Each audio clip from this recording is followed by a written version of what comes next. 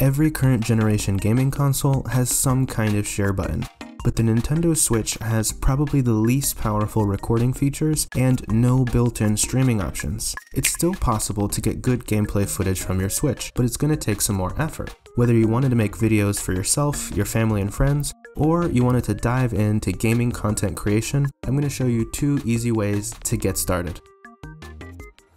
The first method is free and it's available to anyone with a Nintendo Switch, and it's simply using the built-in record feature to take 20 to 30 second clips of gameplay and then stitching them back together in your video editor to create one seamless take. You start by holding down the record button. This will create a 30 second video clip of your most recent gameplay. You want to do that for as many 20 to 30 second clips as you need to create your video. Then you'll go into your gallery and send over those video files to your phone or computer. You can use this QR code Wi-Fi transfer, or you can use an SD card to transfer multiple files at once. One of the downfalls of this method is that you'll be stuck in a 1280 by 720p video format regardless of whether you're docked or mobile. The benefit to recording your clips every 20 to 25 seconds is that the videos will only record the time from your last video recorded. So if you put these clips into a video editor back to back, there will be a seamless transition and it won't look like you made this video out of several smaller clips. The clip stitch method is great for beginners and it's fully free, but some of the problems are that you can't stream, it's lower quality, and it could be a lot of work. The next method we're going to talk about involves using a simple HDMI to USB capture card. Now, the world of Nintendo Switch capture cards can seem a lot like the Wild West. There are so many options with weird brand names, listings disappear, they never have too many reviews. It's an uncomfortable place to be. But if you find a cheap capture card between 10 and $20 that says that it's USB 3.0, that means it can support up to 1080p at 60 frames, and the reviews aren't terrible, you could give it a shot. The way that they work is simple enough. You plug your HDMI cable that would normally go into your television into one side, and the other USB side you plug into your computer. Now that you have the USB input of the video and audio, you need a software to handle it.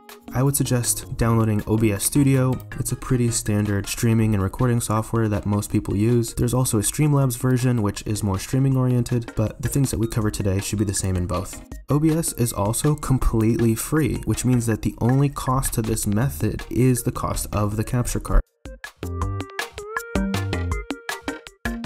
The sources panel is what we're going to use to add in our video and audio capture from our USB 3.0 input. We'll start by clicking the little plus icon in the sources window and we'll select audio input capture. You can name this anything you want, it's for your reference, so I call it Switch Audio, and click OK. From here, you just select your device. There should be one option for a built-in mic, and then you should see something like this. Mine says USB 3.0 capture. If you look at the audio mixer, you can see that audio is already coming in.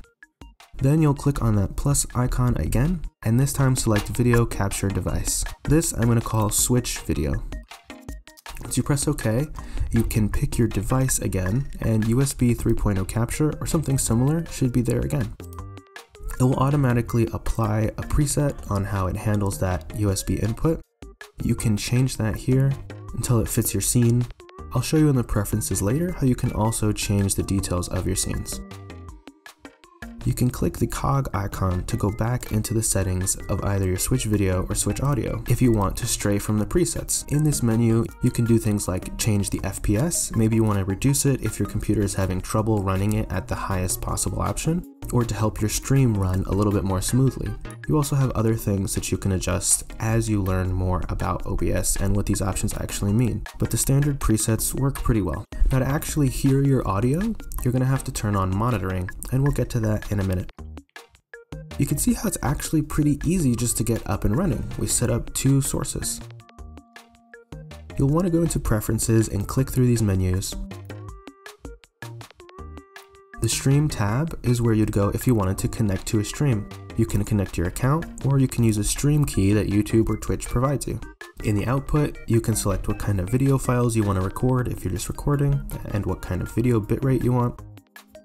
In audio, you'll want to make sure that you have something proper selected for this monitoring setting.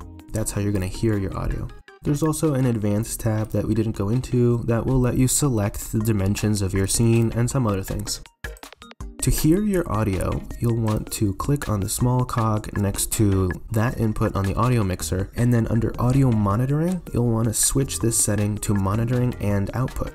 That means that you're going to be monitoring the audio of the input as you're playing the game. If you plug in headphones to your computer, this will let you listen to the audio from your Switch while also streaming or recording it. Once you have your sources and settings set up, it's as easy as pressing start recording or start streaming. Your stream will be run through that stream key or the account you provided, and the video recording will go to the destination that you selected in the preferences. This method is great if you want more control over your quality and you want to be able to stream and record longer videos, but there might be some audio and video lag based on your computer's performance. You'll notice that the more expensive cards, like the Elgato HD60 that most people swear by, have more cables attached to them. The way that it works is that you have an HDMI in, then you have a cable to your PC, but you also have another HDMI output to a second display. The purpose of that is so that you can have zero latency gameplay on that second monitor and just send the video input to your computer for recording and streaming only. This would be important for games with really quick inputs like fighting or action games where you need to press buttons and have very low latency to perform well. But if you're playing slower paced games that don't need it as much, you should be just fine with the simple HDMI to USB capture cards. If you have any questions, suggestions, or requests related to topics like this, leave them in the comments below.